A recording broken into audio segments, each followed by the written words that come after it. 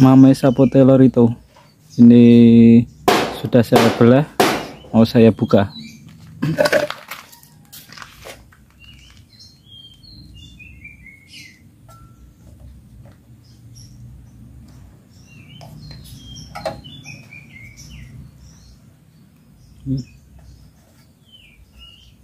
Untuk untuk daging sapotelor itu merah merona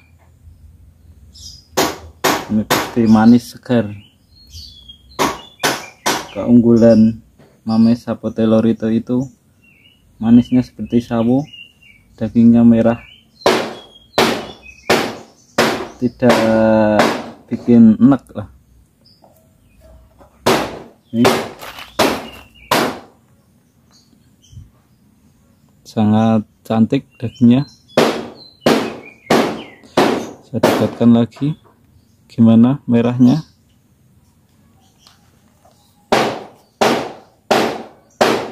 Untuk biji. Satu besar.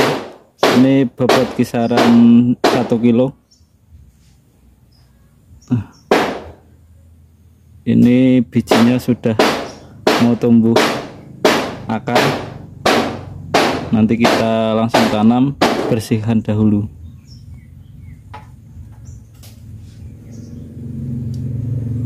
gimana?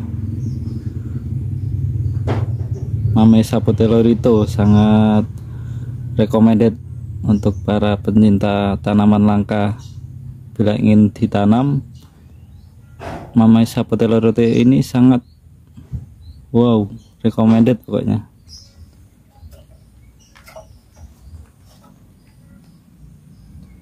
Ini bricknya bisa mencapai 30 brick sangat luar biasa manisnya.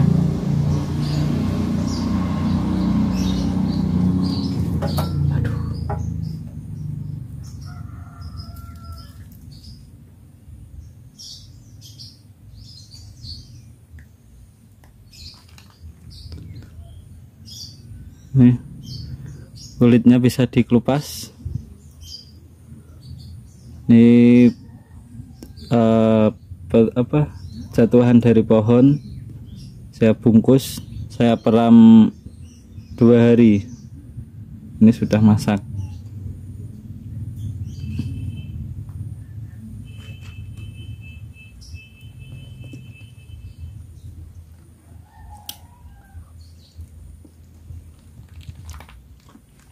Tekstur lembut manis seperti sawo. Pokoknya recommended mame sapi telur itu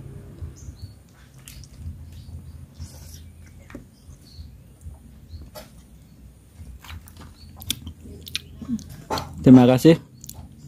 Sampai jumpa dengan Sobikan Nursari dengan tanaman-tanaman yang unik dan langka dan bibit buah lainnya. Sampai jumpa. Salam sehat selalu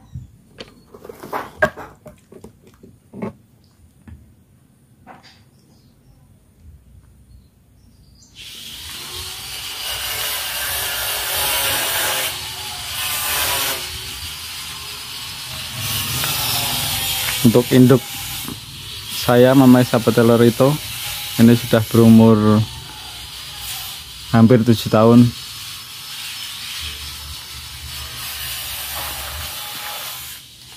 Untuk bibit juga ready. Sambungan hasil sambung susu.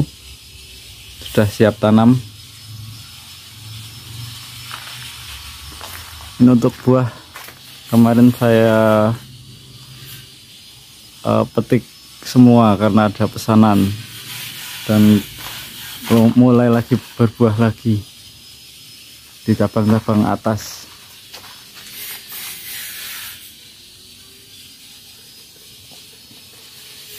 Nah ini untuk yang lagi proses sambung susu.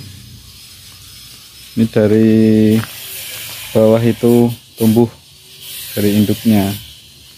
Jadi tidak terlalu tinggi saya untuk menyambung kualitas juga oke okay. cepat berbuah ketika batang mulai menua mamai sahabat telur itu ini bunga pun langsung muncul